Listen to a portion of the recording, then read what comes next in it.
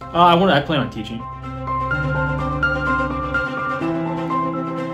Uh, that's my main goal is to uh, uh, teach uh, microbiology and immunology. Keep in mind, you know, at LECOM we have three different learning pathways, so our students get immersed in a, in a variety of different curricula, and I think that that strengthens their application to other schools and other programs.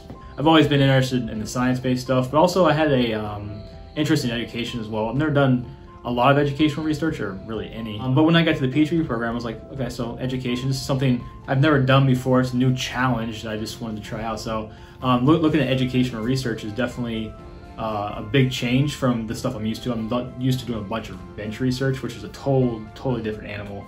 Um, so doing educational research is definitely a, a huge advantage to get that background and stuff I've never learned before.